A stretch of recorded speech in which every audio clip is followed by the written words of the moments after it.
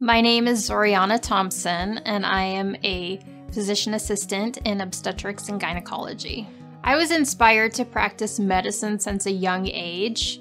I had the opportunity to watch both of my parents get their medical degrees, and I also watched them practice medicine in two different roles one as a physician and one a physician assistant. And I decided that based on my desires in medicine, that a physician assistant would meet my needs the best. I chose my specialty of obstetrics and gynecology because of the variety of medical care it provides.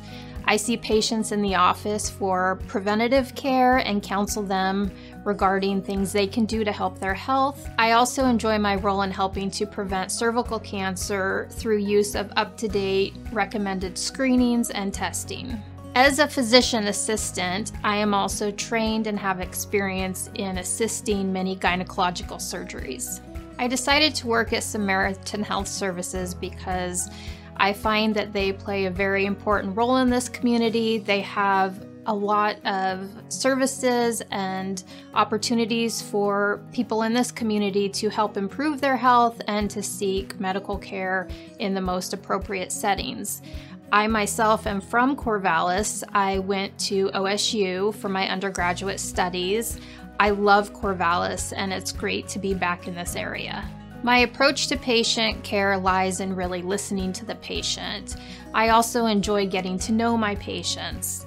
My interests also lie in talking with young women and finding the right contraceptive choices for them and helping them plan for the future.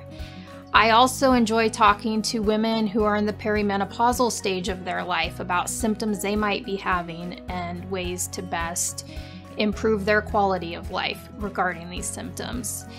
Outside of work, I love anything that involves the outdoors. My family and I enjoy hiking together. We love anything that has to do with wildlife. We also enjoy quiet days at home. I enjoy reading and gardening.